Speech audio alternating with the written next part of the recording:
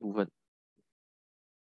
好，接下来我们看简答题哈，这个是历届的简答题的部分。呃，这一题第一题，下列呢是维持人体生命活动的器官。这个图有没有感觉上似曾相识？这个其实就是我刚我之前呢，就是看那个课本题的时候，我就讲那个图很重要，有没有？这个图其实就是那个课本的图来的，一样差不多一样的啊，只是说它可能那个位置上会有一些呃少许不同这样子。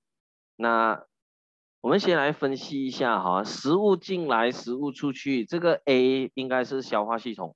然后呢，它进入 C 的话呢，应该是它营养物质就会进入血液循环。C 的这个系统呢，就是循环系统啊。再来 B 的这边会跟它交换物质，然后呢，哎，跟外界呢是有气体的交换。气体交换应该是呼吸系统有没有？B 就是呼吸系统了。这然后呢，再来汗液的话呢，应该是从皮肤嘛，像 donkey 呢就是那个皮肤了，皮肤。我们会用皮肤哈，因为它是一个器官，皮肤这个器官它没有说一个系统，它不算是一个系统，所以你会看到 D 这边它后面没有写系统，然后 F 的话呢，它会跟细胞呢就是啊交换物质这样子啦，所以也是通过这个血液系统。一的系统呢会排出尿，所以一是泌尿系统。好，所以 A B C D E F 呢，我们就差差不多都讲解完，我们来看一下。题目上图呢，过程一表示气体的扩散，啊，就是它的肺泡跟那个血液的物质交换呐。那气体扩散后，我们的血液的成分会有怎样的一个变化？我们的血液的氧气含量就会增加，二氧化碳含量呢就会减少，所以呢，血液呢就会从缺氧血变成了含氧血。OK。系统 A 呢是某个器官会分泌出一种不含消化酶的消化液，胆汁咯，只有一个是没有消化酶的消化液，所以这个消化液有什么功能？乳化脂肪的功能啊，所以这句话你就要知道说分泌一种不含消化酶的消化液，你就要知道这个是胆汁，胆汁的功能是乳化脂肪。所以这个虽然乳化脂肪这个写法好像在新课本没有讲啊，不过旧课本呢我们都是这样子来呃介绍的啊，胆汁可以乳化脂肪，把那个脂肪呢变成小颗粒，大大颗粒脂肪变小颗粒脂肪。你要写大颗粒脂肪变小颗粒脂肪，还是写乳化脂肪四个字嘞？啊，这个你自己看到对不对？如果某人。尿液中发现了葡萄糖，那可能胰岛素呢分泌就不足哦，这个就是糖尿病了。胰岛素呢是一种蛋白质多肽，这个肽好像写错，好像是那个月一个月一个肽啊哈，多肽物质，呃，只可以通过注射，不可以通过口服，为什么呢？因为蛋白质会通过消化系统的时候就会被胃呢破坏掉了啊。说这个胰岛素呢，蛋白质呢会被胃酸或者是胃蛋白酶破坏掉啊，或者是叫它分解消化掉啊，所以就不会有呃就没有效果了。结构低，结构低在这里皮肤了。结构低呢，在构成生物体的结构层次上，它是属于器官的层次。哎，那结构低有什么功能？有保护功能。有感受，因为它有有什么呢？呃，冷热痛触压感受器，调节体温，它会排汗，汗就会帮它带呃蒸发吸热，就会降温啊，所以它有调节体温的功能。它有吸收的功能哈，这个虽然不是很多哈，人体其实没有什么吸收功能的，吸收什么？吸收紫外线吗？啊，有有些学生就想说有。有什么制造维生素 D 的功能啊？也算，也算。它其实是吸收了紫外线之后呢，你的黑色素那边，主要是黑色素那边就会制造出那个维生素 D，所以要多晒太阳，我们才会有维生素 D。有分泌的功能啊，分泌呃油脂啊，分泌汗液啊，这些都是属于分泌的功能。还有排泄，排汗就是属于排泄的一种，对吧？所以这几个呢都可以写了啊，只是选一个就好了。看它分数多少分。一般上这样子的话呢，就两分，前面器官就一分，后面你随便挑一个就行。第二题，下列呢，呃，是人体循环系统的示意图，那是写出左图结构三，结构三，有结构三啊，三是三在这边，三在这边啊，应该是左心室对吧？左心室，左心室呢是将血液送到全身，啊，左心室将含氧血运输到全身。四解释呢？充氧血变成缺氧血的过过程，充氧血呢是在那些细胞上啊，去到了组织器官的那些细胞啊，它就会跟它交换了啊。充氧血呢在人体的各细胞内进行气体扩散，啊，使得氧气含量减少，变成了缺缺氧血。什么是心率？心率呢是心脏啊每分钟跳动的次数。一般来讲呢，人体呃。成人在安静的时候啊，每分钟是跳动七十五次左右啊，七十五次。是写出右图就是这个血管啊，所以你会看到这两个血管有一个比较厚，有一个薄薄，对吗？所以这个厚的应该是动脉咯，P 是动脉咯，Q 的话呢，除了比较薄以外，它还有那个你看啊，这个这样子的静脉瓣来的啦，啊，瓣膜来的，所以 R 这个你可以叫它静脉瓣。哎，Q 就是静脉了，啊，分析了那个题题目，我们来看一下它的哦，它给你这个表就很容易看了，对不对？它要看血管 B 跟血呃血管 P 跟血管 Q 它的厚度跟弹性怎样的一个差别？P 的厚度呢是比较厚的，Q 就会比较薄。P 因为是动脉，所以它弹性比较大，Q 静脉弹性比较小。R 的功能是什么？防止血液倒流。是这六个字常常考，有没有？一讲到瓣膜，你就要把这六个字呕出来啊！所以这个，请你记得要讲解，防止血液倒流。李艳同学呢是一名大学生，学校号召大学生呢就义务的献血，他主要呢呃主动的报了名，报名后呢他参加了体检，验了血型啊，那个医生就讲说，哦你是万能输血者啊。然后最后他就捐了两百 ml，OK，这血他的血型是什么血型？他是万能输血者，所以他是 O 型。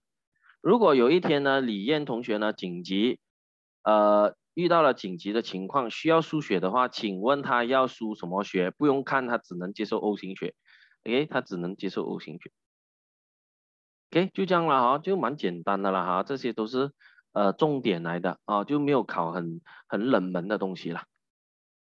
二零一五年呢，四月二十五日，哇，十四时十一分这么准啊！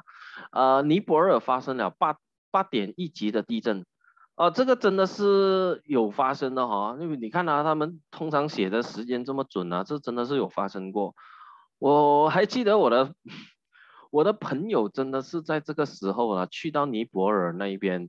呃，旅行，然后他还讲说，哈哈，他从楼上跑了下来，然后呢拍照，他就讲我刚才就是在这个位置上，整栋楼不见掉了，整栋楼塌了下来，然后呢还够最最厉害的是，他因为他是差不多少数，就是去这个时候去到尼泊尔旅行的人，他还被被很多报社访问了。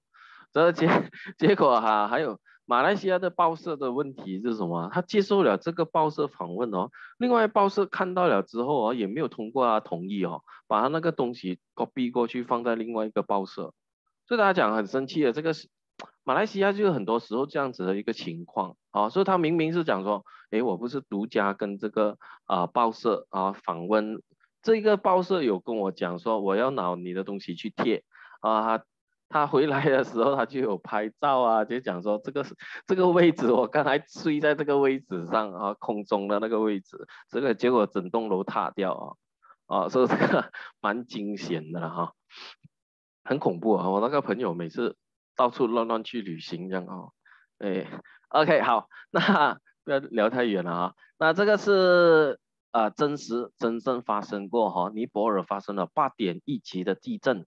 啊，很多很多塌楼的事件啊发生了啊，还好他没有事情啊，还好我那个朋友还活着逃了下来，好，不然整栋楼塌了下来，你逃不及，基基本上就是他的呃就是埋在里面，呃好运的话你可以被挖出来，不好运就是死在里面了哈，诶，呃这个是灾灾区灾区群众呢跟全全国的人民众志成城，全力的。啊，抢救被困的人员。以下呢为地震中对伤员的救援和处理的过程中的一些问题，请你根据下图啊回答下列的问题。地震发生后，无论是自救还是他救，都必须首先保证哪一个系统的顺利，呃顺利操作。以满足我们人体对氧气的需求。这里啊，这个东西啊，我觉得很奇怪哈。就如果我要有氧气的话，首先当然是呃呼吸系统了，对不对？我不可以说呼吸不到嘛。所以呼吸系统第一个。但是如果你讲说血液，我的心脏停止跳动，基本上我应该也是死吧。对，所以我个人是觉得这个这样子的一个叙述哈，变成了我会有两个答案哦。如果你问我的话呢，呼吸系统也要顾，呃，循环系统也一定要有，好，这两个一定要同时，因为因为如果你有呼吸，但是你的血液那一边没有没有流动的话呢，其实你也是缺氧而死的，对吧？你的血液流不到全身啊，你的身体的细胞就会开始缺氧，好。所以到最后呢，这两个东西呢都是呃来来来来提供那个氧气的哈，所以这两个我个人是觉得两个两个答案都应该要接受了哈。然后呢，B 呢就是有一些幸存者呢，他长期被困在废墟底下，可能这么巧他又没有压到他，但是呢就呃走不出去了啊，就门门口呃出口被堵住，然后呢就没有被压到。啊，然后呢，里面又没有水了啊，没有食物，没有水，怎么办呢？他们会选择饮用自己的尿液来维持生命。那这种方法可不可行？这个呢，就呃，其实有看过很多书，就是说在，甚至是在荒岛啊，荒岛上哦，也是用这个方法喝自己的尿哦，因为尿液里面有水分和无机盐。所以你可以暂时的喝自己的尿来维持生命，哦，补充回那个水分，好过你去喝海水。很多人讲，老师在荒岛上，我四面都是水，为什么我们不能喝海水？因为海水的盐分太高，所以如果你长期喝海水的话，你反而会脱水耶。啊，所以你不要以为说，哎，海水也是有水分，没有啊，那个含含盐量太高啊，喝尿反而更安全。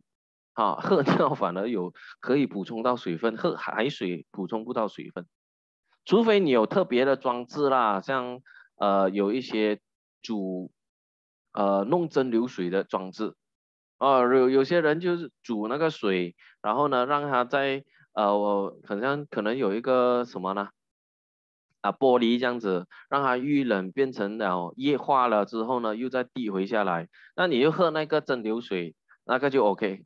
啊，所以如果你没有这样子的一个呃工具啊，没有没有办法制造到蒸馏水的话，你还是喝尿好了。OK，C C 呢，若给哎若给这个伤员的静脉注射药物的话，它药物会首先回到哪一个部分？啊，总之注射的话呢，都是从一号这边进来，所以是右心房。写代号的话呢，就写一号；写名字的话呢，就写右心房。没看你的题目的要求了啊，所以我两个都写了。我一般上我是两个都写。某 O 型血型的伤员呢，就失血过多，需要大量输血。他应该输什么血？O 型血不用看，一定是输回 O 型血。大量输血其实也不用看，一定是同型血。好，所以这边呢，你可以写 O 型血，你也可以叫它 O 呃同型血。对吧？他他因为他是 O 型嘛，同型血也就是 O 型了，OK，所以有些学生写同型血可以，有些学生写 O 型血也是可以啊，就一样的意思了。好，地震发生后，呃灾区呢就严重缺乏清洁的饮用水。一般情况呢，水源污染最多的是这个大肠杆菌，呃，一种细菌呢。那大肠杆菌呢，跟动植物细胞不同的地方呢，是主要是区别于它没有成型的细胞核。那这个的话呢，我们还没有上啊，我们差不多在呃初三下册的时候呢，才会在呃详细的讲解到哈，大肠杆菌，呃，就是细菌跟其他动植物的差别。细菌的话，细菌的话呢，它是呃细胞核是没有成型的啊，它是没有那个核膜了。OK，所以这个是那个原核生物，我们叫它原核生物。这个词一些我们会再啊详细讲到。好，再来看一下第四题，下列呢是人体消化、呼吸、循环和排泄。所以你看这个图啊，就好像诶跟刚才那个图不一样，但是我告诉你啊，它跟这个图呢是一样的东西来的，只是它可能。不同的 layout，所以到最后呢，它跟这个题型是一模一样的。你看啊，我们再分析一下它有什么系统。总之，重点在于哪里呢？重点在于你要懂得去分析到底它哪一个部位是什么。食物进来这个是消化系统了，对不对？出来是排呃排遗啊，四号是排遗，就是分辨出来的。那一号的话呢，就是你的营养物质就会进入 B。这个 B 呢，就是我们血液系统啦、循环系统啦，对吗？所以这个 B 呢是在中间的。那血液性呃血液血液循环血液循环哎不是循环系统啦啊包括淋巴啦，其实啊包括淋巴，我们叫它循环系统就好了。循环系统啊，它有这边呢产生尿液的话呢，我们可以讲说 D 是泌尿系统咯，对。这个是比较难懂啊，就是这个是汗液，那这个外界的相信应该就是气体啦，所以吸吸应该就是那个呼吸系统，那这个五号啊这一边呢就是皮肤的这个排汗嘛，对，排汗汗液这样子，所以它其实应该要多一个层次，然后呢那个是呃可能放一啊，那个是我们的皮肤器官，OK，所以跟刚才那个。差不多吧，对吧？也是呃一二三四，差不多四个位置啊。我们看一下啊，你看啊，啊这里一个，这里两个，这里三个，这里四个，这样也是四个角嘛，对不对？啊，嗯，你看一样的了。OK，所以这种题目啊，常常出，哎，常常出，哦，只是样子可能呃换个样子这样。我们来看一下第一题 A 啊，人体进行。呼吸交换的系统应该是 C 了啊，因为从外界这边呢，所以是 C。A 呢是的系统里面什么器官的功能是吸收食物中一部分的水分，呃，并形成粪便。如果形成粪便，应该是大肠了吧？对，然后呢有吸收水分的功能，并以什么作用排出体外？排遗作用哦。所以这里有两个答案啊，一个是前面，呃，什么器官大肠，然后什么作用排遗作用，OK 啊，两个。B 系统循环系统，缺氧血会经过哪一个途径变成充氧血？一号、二号、三号、四号、五号？诶，啊，应该是从三号嘛，啊，因为呼吸嘛，这边是呼吸啊，所以从肺那边得到氧气。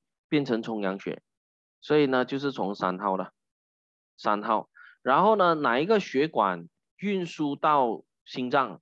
肺静脉咯，对，运输回心脏嘛，肺静脉。诶，所以这里又是两个答案了。B 系统里面呢，心脏瓣膜能够保证血液只向一个方向流动。其方向应该是静脉去心房，心房去心室，心室去动脉，这个不管左右的，都一定是这样。哎，如果是右边的话，那它就是上下腔静脉去右心房、右心室，再去肺动脉。如果是左边那个的话呢，就是肺静脉去左心房、左心室、主动脉。好，所以这个呢，静脉去心房，心房去心室，心室去动脉呢，这个是左右都一一样的。最后呢，他就问了排泄的途径呢是哪一条？那我的排泄途径呢，有排汗啦，有呼吸啦，还有这个排尿的。哎，所以是二五六，四算吗？四是排遗，不是排泄啊。就每次就考这个嘛，对不对？虽然很容易哈，但是每次都考，好，每次有还是有学生错。OK，二五二五六啊，二五六，所以这个就是你的答案了。OK，有没有问题？